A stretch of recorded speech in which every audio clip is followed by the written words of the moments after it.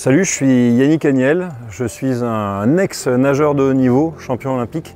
et euh, depuis l'arrêt de ma carrière, eh je suis euh, euh, chez MCES, qui est un club professionnel d'e-sport. Le but, c'est d'amener un maximum de jeunes à la pratique de l'e-sport dans des conditions saines. La raison pour laquelle moi j'y suis, c'est que je suis directeur sportif de cette structure, donc je m'occupe de tout ce qui est autour du jeu vidéo en lui-même, c'est-à-dire de la préparation euh, physique des joueurs, de leur suivi euh, nutritionnel, psychologique, médical, euh, d'absolument tout ce qu'on peut imaginer finalement de, détails autour de la, performance e-sportive en elle-même. C'est ce qui nous différencie, ce qui nous rend important sur cette scène et on essaie de, encore une fois, de prêcher la bonne parole. Effectivement, il y a cette démarche de communication commune et d'un autre côté, il y a des affichages, par exemple, lorsque on a une chaîne sur Twitch, euh, typiquement, cette chaîne, euh, il y a un affichage, il y a un overlay, comme on appelle ça, ou sur les maillots euh, de nos joueurs. L'idée de nouer un partenariat avec MCES, c'est qu'on puisse imaginer ensemble la manière